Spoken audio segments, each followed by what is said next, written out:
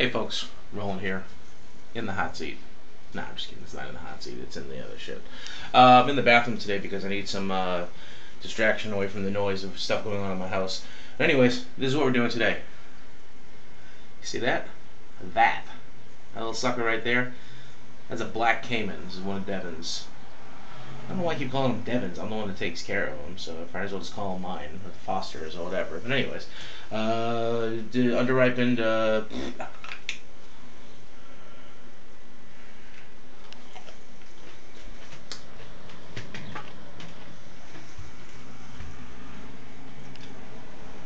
It's in the habanero family. It's hot. Whoa. Oh. Oh my god.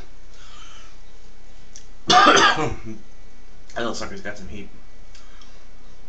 Ooh, underripe too. Alright. That's a good one. I'll call it there.